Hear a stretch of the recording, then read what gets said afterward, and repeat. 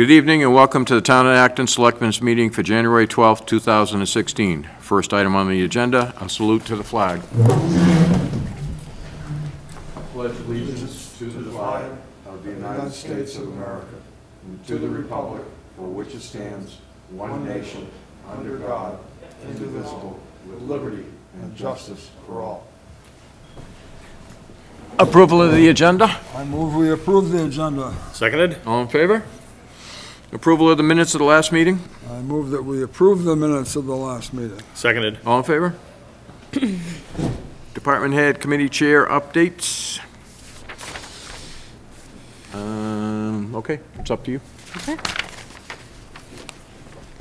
So uh, I hope that it's okay. I did did the agenda a little bit differently this week, and I think that it would be easier, um, so the board can really have more input on where some of the old business things um, start. So anything that, that I have an actual update on, I'm going to put in under me, but if it's something that's just continue, continued over from last week, because we haven't completed it yet, we'll put it under old business, and the chair can kind of keep it moving along. Um, First thing I have is the speed limit updates. Last week, uh, Deputy Shaw and I met with Tim Susi from Maine DOT. He actually came down to Acton, and the three of us had a meeting. Um, Based on the December 11th, 14 letter that you guys sent him listing out all of the streets, uh, he went through all of them, and with Deputy Shaw, they agreed on speed limits, and they discussed the placement of the signs. And I guess I really want to mention that, because although we will ask our road commissioners to put them in, the, these guys have actually picked the spots. So we want to make sure that the board is okay with taking their recommendation, not to say the road commissioners are going to be any different. I think we had to, that's why we had to call them in. The- The state tells us where to put them and what the speed limit is, and then, and then the town puts the signs up. Puts the signs up, we- okay. We don't get to make that determination, so. Okay, so he, um, we have probably close to 25, maybe even 30 signs to purchase. Um, There are a couple of sign, a couple of areas that he wants, um, you know, particular arrows going for either sharp bends, or there's a particular area that, I I don't recall what road it's on, but he felt like he was just about gonna land in the water, so he wanted a left-hand one. So we have it all, um, all spelled out. You're talking and- like curb signs? we're in a Curb signs, yeah. Okay. So, with your approval, um, we'll order these. Now, in the past, they've come out of the road commissioners' individual budgets for their roads. Um, we have a miscellaneous municipal management fund that, because the road commissioners didn't request these, I asked Michelle to find a different account with your okay, um, that we can, you know, legally take them out of and go ahead and get them ordered and, um, Motion to buy the signs? I move we buy the signs. Seconded. All in favor? Okay. So hopefully, I don't know what the best weather to install those signs, but I'll talk to both of the guys and see what they can do to help us get those installed once they're in. Um, next thing, kind of follow-up from last week, some things that you asked me for, um, set a budget date. I did, I did talk to Michelle, and she is, um, good with the third Friday in February, and I apologize, I had to look at my calendar. So we'd be looking at the 19th as the deadline for budgets, and with your approval, uh, we'll send out, she'll send out a memo indicating that. Um, In regards to the salaries that you asked me to look into, Yeah. some information um, from her, so, first of all, regarding the, the fire department, estimating what the fire department needs in the salary is pretty tough right now. There's no base point, and there hasn't been clear direction set as to how shifts will be covered by full-time personnel or per diem personnel, or what the fire chief is going to make. Um, Basically, more information is needed before she can put that forward. And her thought, um, you know, as we were kind of talking about it, she pointed out a good, you know, a good point that, you know, if we don't have these positions filled yet, let's just say it's February or March before we get them filled, quite honestly, they're not going to be looking at increases in June. Right. So, you know what I mean? So we really don't, that doesn't have to affect this year's budget because, you know, most people don't get an increase after three or four months on the job. So, Well, I was thinking more line, on along the lines too, that this past year, because we didn't know if they were gonna pass the budget for the new ambulance, that we put in a fire department budget and a fire ambulance budget. right? So there's an extra amount of money. She said there would, there certainly be a good amount of money Yeah. being rolled over into undesignated funds from the fire department. Okay. Um, but she's still looking for information as far as what the fire chief, i- you know, what the salary is gonna be, Uh, I know we had talked about, you know, the stipend that the prior chief got along with what they budgeted, so depending on qualifications, you'll be right around that 50,000 mark plus benefits. Yeah, we'll Um, negotiate with whoever we decide to hire after they go through the interview process. Okay, so then in regards to the other positions, um, so increasing all salaries by three percent with the exception of the fire department is about ten thousand dollar increase for approximately fifteen positions. However, we're not buying an eight thousand dollar boat this year, so really it's only about two thousand. The increase does not even affect the tax rate by a quarter of a cent, about a half a cent if we don't, even if we didn't factor in the boat. Okay. So in this memo that we're, um, putting out, what is it that we're telling the department heads? Well, we gave them 3% last year. Do you want to do the same? Yeah. Yeah, I would all right. think. Do- Tell them to budget in the same. I know the school's going through negotiations now. I don't know what the teachers are going to get. They, they can't even start their budget because they haven't finished the contracts for the next three years yet, so. Uh, And then the other thing I just wanted to, the capital improvement piece, um, just to kind of follow up a little bit, as we are starting to work on the warrant. Um, Michelle did speak to, uh, Ken Paul, who estimated the remainder of the siding on this, on the whole building at about forty thousand dollars. Okay. Um, so that's one, if you decide, you don't need to decide tonight. Roof, I did speak to Hall Brothers today, and, uh, they're going out and take a look at it. Um, For the fire for department? the fire department. So they're gonna actually give you a quote on both of them. I know that the new building, I don't think needs it, but they'll keep them separated. So he said we'd have that by next week. Okay. Um, and then the walkway, I did uh, play phone tag with Joe Letourneau again yesterday, but he assured me in my message that, um, I would hear from him before the end of the week. So those will be individual warrant articles. Is that how you wanted it? Yeah, and I'm hoping that there's some money in the, um, in the fund, um, capital improvement fund to go towards either the siding or the front walkway or something like that. And I was thinking we should also increase our maintenance budget by five thousand because of all the expenses that we've had that have come up with, um, parts of the, other parts of the building that we hadn't planned on. You know, library, all the things that come up, so. We have, what, 15? Uh, it's twenty-five, but that includes the. All the uh, contracts, snow shoveling, the. l- the cleaner and Grass. all that, so we end up usually with like fifteen thousand dollars to maintain the whole building, so Right. that would give us twenty, so. Ask Michelle to put it, Probably not a bad idea, yeah. an additional five thousand, because I know their heater keeps going too, and Yep. eventually we're gonna have to put those heaters Yep. like we did downstairs, so.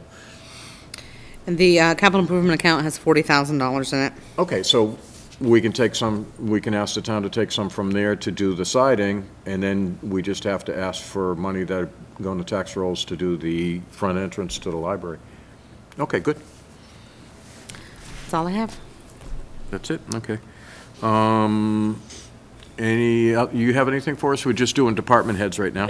No, um, just in regards, there was a question we had the, about the CIP program. I talked to Peter about that. Three years ago, um, he came to you and saying, you know, let's look ahead and everything. So there should be money in a CIP program for the fire department for uh, that roof somewheres, unless things fell through the Okay. cracks somewhere, so. Well, Mi- Michelle would know Yeah. where it is, so we can ask her, but, Because I, um, I asked him, he said, no, every year, and that was one of the things he always put in his budget the last three years, was knowing that was gonna be coming along, so it'd be a little bit easier of a sting when the time comes, so, so, yeah, definitely look into that. yeah, I was just thinking, we just, we're gonna have the town hall completely finished next year, and, and if we get that done, then we've got twenty years before we have to do anything unless something breaks Yep. down, so Yep. that'd be great, And we're pushing sixteen years over there now, so, yeah. Yep. Yeah, you said the backside gets more sun, so it's starting to Yep. fold up and everything? yeah. Yeah, so, so maybe change the backside this year and then wait the twenty years to change the front. Found something there, yeah. Yeah. Do something there. But, yep, nope, there should be money in a CIP program somewhere, so, Okay. okay. Um, CDL drug testing memo continuation. So per your request, um, I s- am still looking into different time clocks. I did find, um, a company out of Westbrook, probably one of the only ones in Maine that do, um, very, very, um, eccentric time clocks. They do them for, for all types of companies. Uh, the gentleman salesman is gonna come down on Friday and talk to me about it. Um, but basically, I explained to him, um, what I thought we were looking for. I don't know if you wanna elaborate a little more on the conversation you and I had.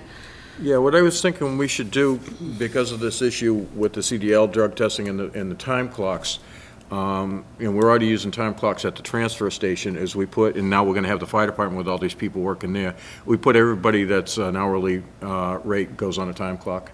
Um, All the school employees that are on an hourly rate, all the ed techs and the janitors and all that, they have to punch a time clock every day. And that way, we could have one at the transfer station, one at the fire station, and where was the other one? Town hall? uh, one at the town hall. Um, And it would not just be road people, it'll be everybody, or the fire, the firefighters. And the time clock, I imagine, once we get this up, is, is it, is the fire station already open 24 hours a day now? Is there some, is it manned 24 hours a day? Um, probably close, right now for the month of January, probably ninety percent of the time. Okay, and when you guys go out to a call, do you lock it all up? Yes. You do, Yeah, okay, yeah. so, it- all right, so, you, they, it would have to be, they could go there if, it- if it was open, but if not, then they could come to the town hall and do it, so. As, oh, you mean as the Yeah, road if you've commissioner got, if people, you're not yes. out on a call, then anybody could just pull in and use the time Yeah. clock there. So they would, they, yeah, because For the road- everybody for the road crews is have what an ID number. Yeah, And they'll So have it a doesn't card. matter where you punch, where where somebody where to punch in, because it's just going to go to their ID number, so. Yeah, we're hoping that everybody will have a card, and they just slide their card every day, and- and then nobody will have to do timesheets anymore, or Which would or be wonderful, payroll would for work out Michelle, good, it'll go because right then to we can- Michelle, so it'll Yep. make, it'll clean the whole system up, everybody, she won't have to wait until Tuesday for payroll, she'll have it on. Monday morning. Yeah, everything, you know, follow that right through with a data track program or something, and it's, it, it would be, it's, it's time that we go that way, especially like you were saying with, with the personnel coming on and, and the- the stipends and all that stuff, and, and uh, that would be the people that would affect on the fire department end, would be, you know, the stipend personnel and the two full-time people. Yeah, I think stipends, you may still have to write that down, because if they go directly to the fire, they're not gonna have time. Well, when they work, when they work a stipend, they're at the station. Oh, they don't get paid when they go to the fire? No, then we also, now, okay. Per diem. Your, your, well, that's what I mean. Your, Yeah. your per diem people, they're there, that's, I have two on now, they're per diem people. Right, but the Now- stipends, we don't do, they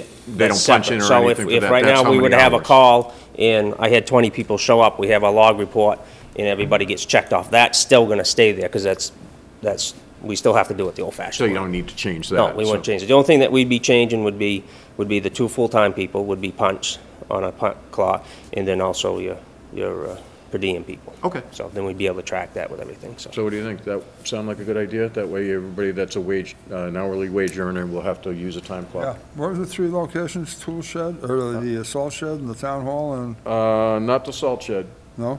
uh 'cause you said they had to have a, um, Wireless. a wireless connection, so, It's gonna have a Wi-Fi. yeah. So the fire department has one, the transfer station has one, and we have one, so, um, we'd have to put a phone and everything else in there. Transfer- Transportation has transfer Wi-Fi, and right now they're using the old plug-in one. Tele- He- They're using telephone? No, there, no, the whole plug-in time clock that you just stamp down, it just Oh, plugs whoa, in. whoa, whoa, whoa. But, um, They don't have internet access up there? and no, no, we've- But they have, they have a phone line and everything, so it'd be a lot easier than putting everything. Yeah, and, and there may be, um, something that, that we can purchase. You may eventually be able to, you may be able to put one at the Sand and Salt Building as well. That Oh, good. gentleman's gonna give us some more options come Friday, uh, but I didn't wanna get too far into it unless the whole board was, Yeah, I definitely think the time clock is about the only way to go, so. So I'm gonna meet with him Friday, and, and I'll have more information to present to you on Tuesday. I mean, we're still looking about, at a couple of weeks out to, you know, put something like this together, and I guess. In the um, meantime, I, th- I think you should just go ahead with your testing the way we've done it, and, you know, as far as when you get somebody that you have to test, then just call them in like we have before. Knowing that we have no idea if they're on safety sensitive, and it, Yeah, I mean, it's the way it's always been done since we started this drug program, so we'll continue that, and we're making a change as soon as we can, but we can't stop the drug testing, because you're getting, you're getting people's names, correct? I am getting people's names. Yeah. So Um, we, we have to continue it until we can get this in place. Okay. The, um, and I spoke to, to Mr. M- uh, Attorney Warren today. He called to kind of follow up to see that where, where that was going. And, you know, the only thing that kind of came up, the concern is that in the wintertime, let's say, for example, um, you know, the road, let's just say one of the road commissioners are only working, you know, that there aren't, there isn't winter work. I don't know what they do in the winter, but let's say there's no winter work except for the plowing. So, you know, he's gonna punch in when it's plowing, and I've got, let's just say I have one of their names, the only time that they're punching in is gonna be when it's snowing, because they don't do, you know what I mean? Because uh, what they tell me is that there's not a lot of other work that's being done, you know what I mean, in the wintertime. So then we're gonna be into the situation that I'm gonna be pulling them when they're out plowing, because that's when it's gonna be, so, I mean, there, you know, it- weeks could go by if it doesn't snow during the day, that you're, you're sitting on a name, because I'm waiting for them, this particular individual to punch in. So I don't, you know what I mean? I don't know how we're gonna handle that. Don't really have any other choice right now until we get the time clock. But no, but I'm saying, once the time clock is in place, Yeah. what if there's no work other than plowing? Yeah,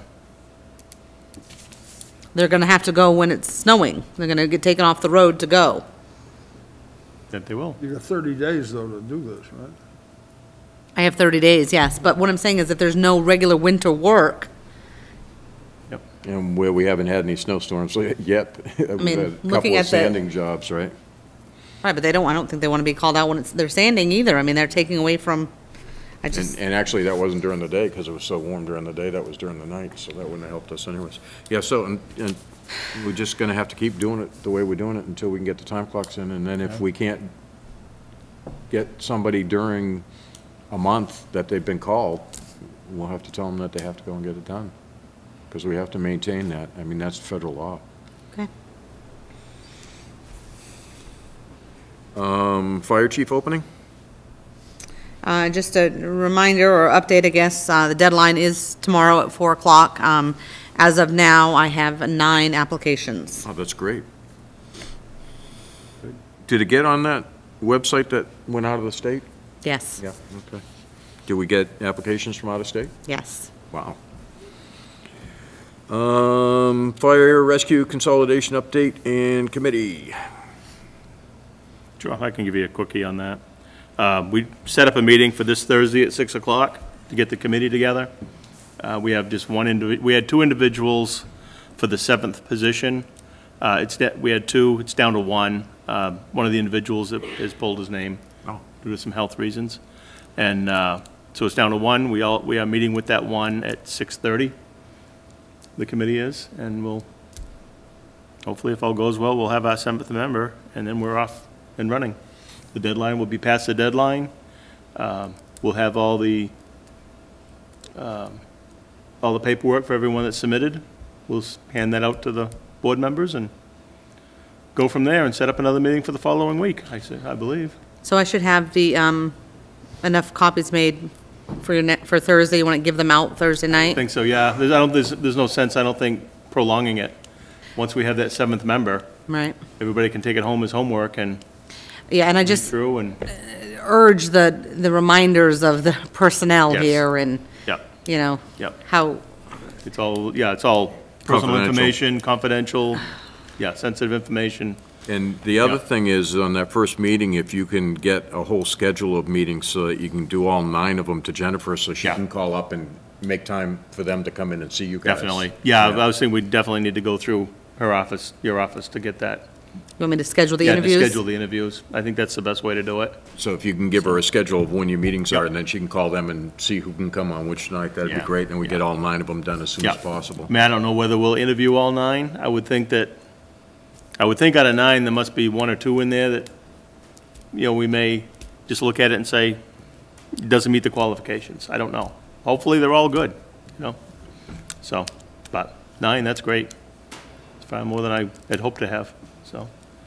And cons, consolidation, we just have the meeting on the 23rd, right? Uh, twenty-six. 26? Twenty-six, yes. Um, I did speak to Jennifer Scotto, nothing really, really new there. We're just waiting for, um, waiting for that date to come and go so that we can proceed.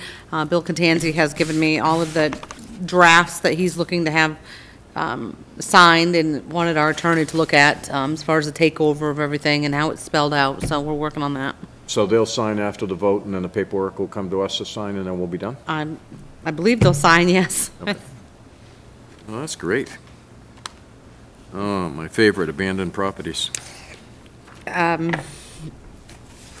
Attorney, Attorney Lankowski was in a day or two ago, um, and had me, um, fill out and attest to some true, some documents that, that they came out of the town of Acton zoning ordinance, um, because these, these properties that we are calling abandoned, that the code enforcement is trying to essentially get them to clean up, um, the force is, is because of the zoning. So anyways, we attested to some documents. Um, I have here the two land use citations and complaints from the town of Acton as a plaintiff versus the two uh, defendants, and they have been um, filed in court.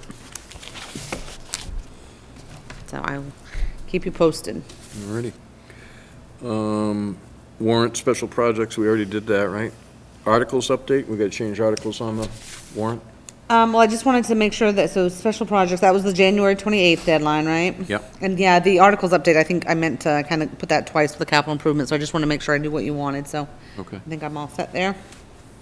All right, and we will, well, after the 26th, we will only have one article for the fire department instead of two this year. Correct. Okay. Winter sand. This about our salt shed not being ready yet?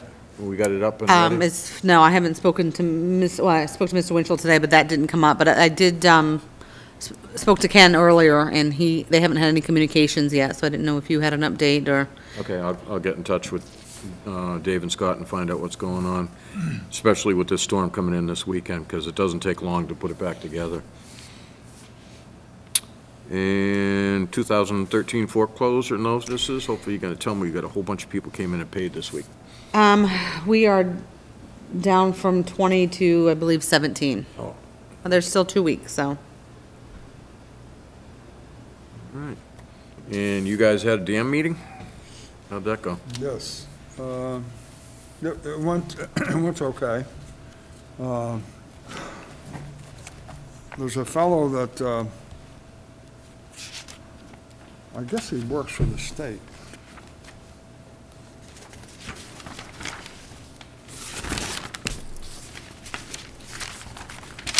English gentleman. At any rate, he came up with uh, a proposal uh, that is going to be discussed now. Basically, we're talking about removing a section of the spillway here, uh, which is going to stabilize, according to them, the, uh, the water levels and so forth.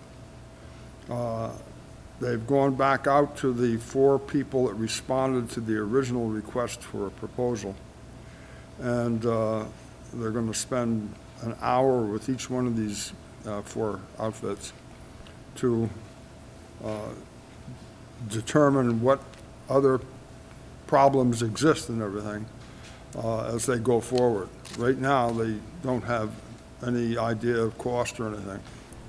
Uh, The high price for, uh, for the, uh, um, the, uh, uh, what do you call it? I can't. Engineering? Huh? The Engineering? engineering? Yeah, the, yeah, the, uh, Was it 30 grand or something? Yeah, 80 grand. was the- 80? Was the high one. So um, there's a, there's a lot of, lot of things that have to be discussed, and that's all going to happen uh, on the 12th of February. All right, so we should plan on, well, we already have an article in there to put 5,000 a year into the Right. dam anyway, so we don't have to do another article. We can just increase that this year, once we know what our share is going to be, right? Yeah, we have 17,000 plus in there right now, but uh, that's not going to be anywhere near enough for a lot of these For our share, yeah, I mean, well, and that's just for the engineering, then we got to come up with money to help repair it Oh, afterwards, yeah, right? right, right, right. But right now, they're working on, with this uh, Tony, uh, what's his name? I don't know what happened here.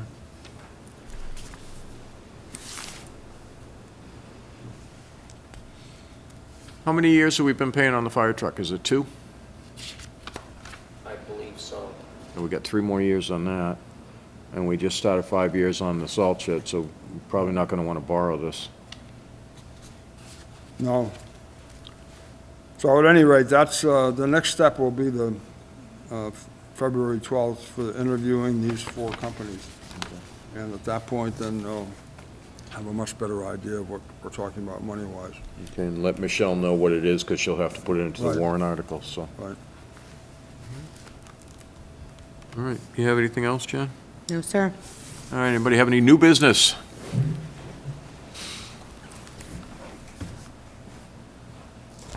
Good evening, gentlemen. Evening? I'd like to start off by um, talking about a, a very nice lady, resident of town, uh, Mrs. Snyder. Uh, as you know, uh, she likes to stand up for what's right and what she believes in. And, uh, as you also know, uh, she brought this up at town meeting, and she did end up having her land surveyed, and it did end up being, uh, that she was right about what she was saying. And the only downside to the fact, i- that fact is that I'm the proud owner of four more acres of swale. Uh, Which, which, uh, is fine. Uh, apparently owned it all, all along anyway, so. Oh, she must love you. And, uh, no, she, she was happy with me. She did tell you we abated it, right? Uh, no, she's, uh, since, uh, she said that you were going to. We abated already it three We years signed last back. week. We only had to Okay. go one year back. We went three years back because of the mistake. Well, she's on her, um, wintertime regimen, so I Oh, haven't good. seen her. She's out of town. Check is in the mail. And, and I want to go back to town meeting. Um, when she brought up the flat ground road, um, when they were talking about the money that we're getting from the state to work on the roads, or URIP money, or whatever they call it now, Yeah. she was told that that wasn't germane to what was talking about at town meeting. And at that time, the chair of the warrant finance committee got up and explained to her that that was a private road. And so the town had no um, jurisdiction over that road. Well, this is an example of uh, misinformation uh, over time because the flat ground road is a town road. And when this private road stuff started, uh, it was more of a personal agenda by certain people in town uh, to make sure that they didn't do any more work on the flat ground road. And the reason why I say that the flat ground road is a town road is because March 12th, 1960, the town voted to close it. And there was an amendment made at the town meeting uh, that would be closed subject to bars and gates. And my understanding is, what that does is it gives the landowners permission to work on a town road, to maintain it, so it'll still be passable, because as you know, the general public can't go out and work on a town road. Right. The reason why it was closed was because of the bridge on the other end of the flat ground road needed to be repaired. And uh, at that time, according to Richard Ham, who was selectman at the time, Wakefield didn't want to come up with the money, and that was 1959. So 1960, liability purposes, they closed it, and hopefully the intention was to get together and get some money so they could put the new bridge in. As people uh, went through public office, it got kind of left by the wayside. When my mother and father moved on to the flat ground road in 1966, the town started maintaining it again. Um, the selectmen at the time said that it was a town road and people were living on it, you had no choice. Just like uh, the Nason Road, we used to close that, and the people moved on there, we started maintaining it. Hams Hill, I remember sliding down that as a kid. Uh, They used to go up and plow into Richard Ham's yard and turn around and come back out. Uh, Same thing with Buzzell Road. But as you know, once people move on these town roads, you have to start maintaining them. There is an easement for the flat ground road. Unlike quite a few roads in town that we maintain already. Uh, There's a three-rod easement, uh, the whole length of the road. And that was recor- recorded in 1862. And, um, so the easement's on the road, the town owns the road.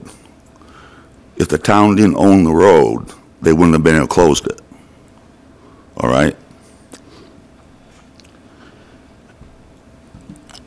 And they took care of it for for 40 years. And then when the private road stuff uh, got voted out because of the state's ruling, Because of the Supreme Court ruling. yeah, uh, the flat ground road was on that list. It never should have been on that list. Um, I can't find any documentation where the town owns the road, per se. But as you know, six years ago, uh, there was a whole list of roads that went to town meeting.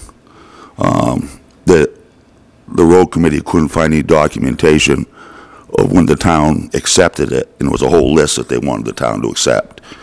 And, uh, for whatever reason, you know, that didn't happen. Um, so I guess what I'm asking is, um, I want the town to start taking care of the road. It's a mile and a half to the last house. Um, I've been taking care of it 10 years. Um, I'm getting older. And I, I think that, um, I mean, I, I'd gladly give you any information I got. You can check with MMA or the attorneys, uh, to see whether I'm not, a, I'm right or not. I honestly believe I am. Um, and I, I haven't brought this up before because I didn't want to get into the personal agenda stuff and things like that.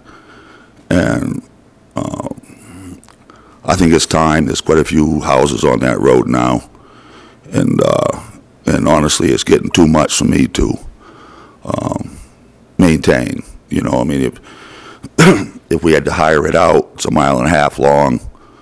I mean, that's about six thousand dollars just to maintain in the wintertime. You know, if you put it out to bid in ten years, that's a lot of money. Uh, say nothing about the gravel and the summer maintenance we do to it. Um, so I would like to know what your thoughts are. Uh, Let me ask you a couple questions. Um, I know we went through this a while back with Hebo Hibo, because the town had voted to close that one down, and somebody wanted us to open it back up because they had a lot in there they wanted to sell, and they couldn't sell it because it wasn't wide enough and all this other stuff. And, and we looked into it, and, and and we couldn't, and we didn't. But under the, I mean, it was closed before we did all this new zoning for private roads becoming public roads. Right.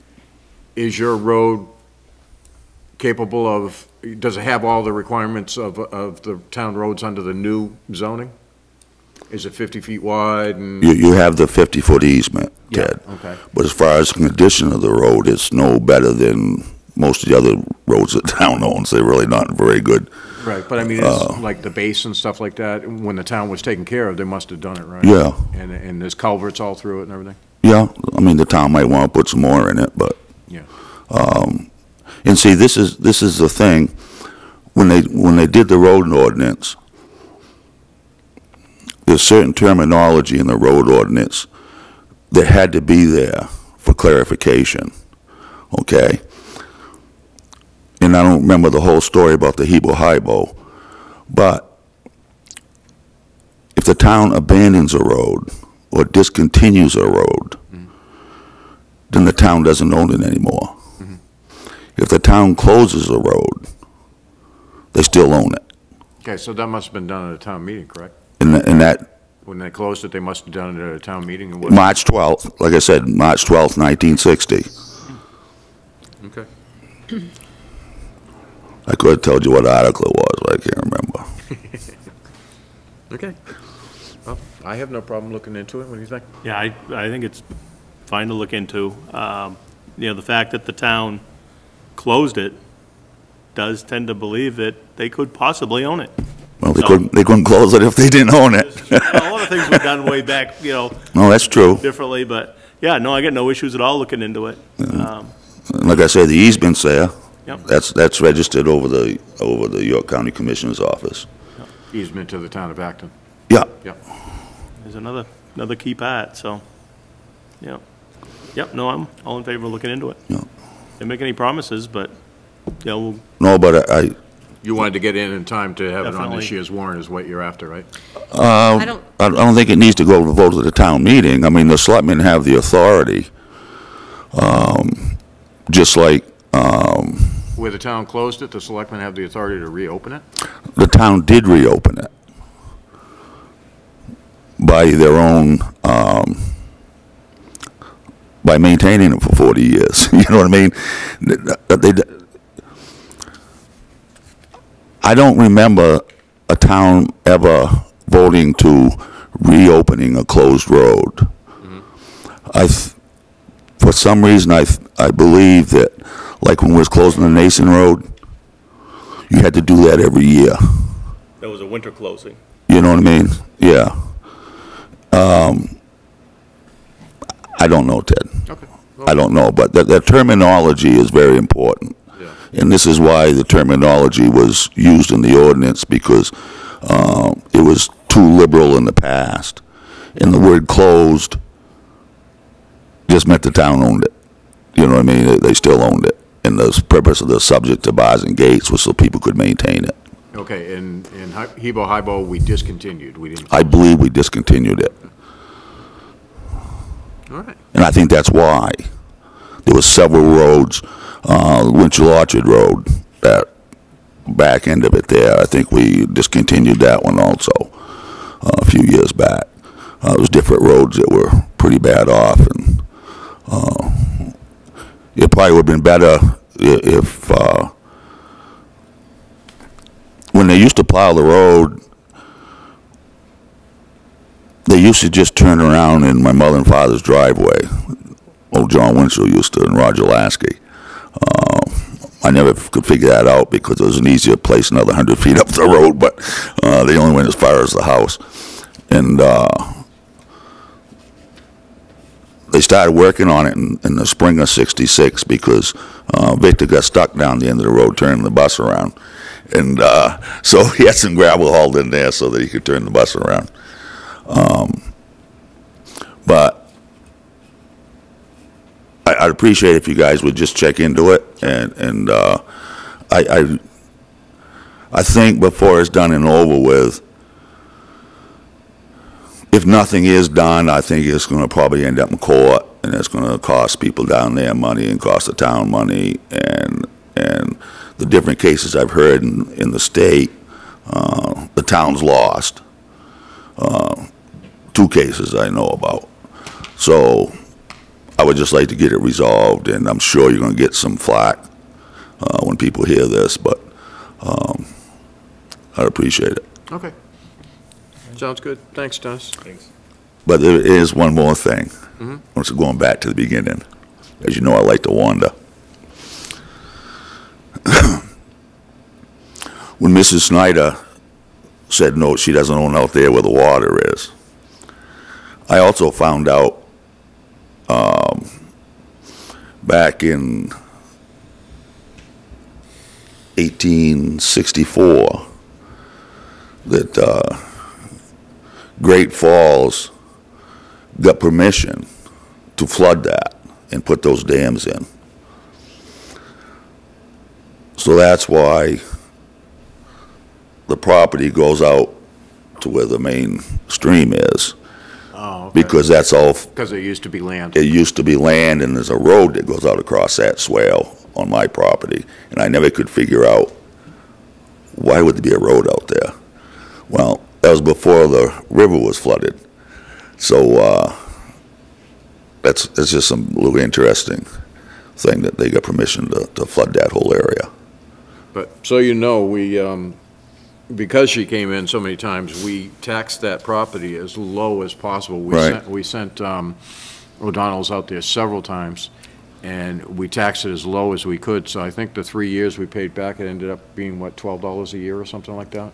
twelve dollars total for the Total. three years. Oh, twelve dollars total for the Right. three years, so, I don't think we've increased your tax bill too much. Well, uh, my understanding, uh, I've heard a rumor mill that uh, the the feds might buy that off you. Buy, So- But, so I might check into that. buy the land? Yeah, that, out on the river there. out Oh, really? For Along what? the river, yeah, conservation. Oh, So maybe I could get, before Obama gets out, you know, half a million dollars or something. Thank you. well, let us know if they make the offer so we can raise your tax bill before you get the money. Thanks, Dennis. All right, anybody else have anything else? No other business? Announcements, dog licenses, um, due by the end of the month, correct? Thirtieth? All right. If there's nothing else, you have anything? I do not. All right, nothing else, I'll entertain a motion. I move that we adjourn. Seconded. All in favor?